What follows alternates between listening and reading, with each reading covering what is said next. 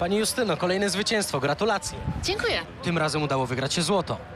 Jak się udało? Nic się nie udało. Po prostu ciężki trening, zawody, doping kibiców i tyle. O, i tyle. O, to udało się zarobić.